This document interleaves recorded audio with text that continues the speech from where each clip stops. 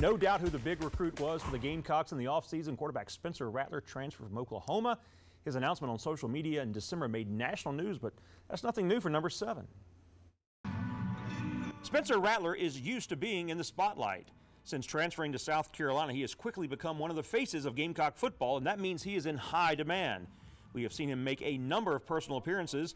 Back in the summer, he worked the Zach Pickens camp in Florence, and just days before preseason practice kicked off, he was signing autographs and posing for pictures at a local automobile dealership. But this is a guy who knew from an early age that football was going to send him on a host of adventures.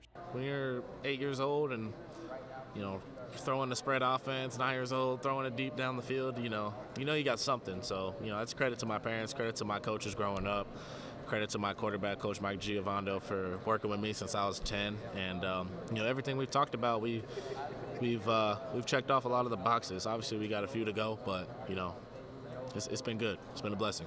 Well, that spotlight reached its peak when Rattler was a starting quarterback for Oklahoma.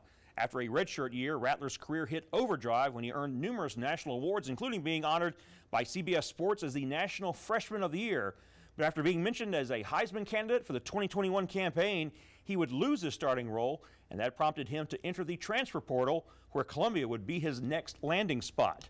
But while his time in Norman ended prematurely, he is philosophical when discussing his early exit from Oklahoma. There was a lot more success than hardships there. You know, I don't want people to forget that. You know, we, won a lot of games. We won a championship. Um, you know, could have won another one, but you know, you learn from all the hardships. You learn from the adversity, and uh, being a quarterback, you're going to have that no matter what level you're at. And you just got to use it to your advantage and use it to grow wherever you move on to next. And a fresh start in Columbia has led to the start of the Spencer Rattler era commencing Saturday night at Williams-Brice Stadium. You want to show everybody what you got, you know. Um, but that comes with just preparing and trusting your teammates and trusting your coaches and putting in that work each week.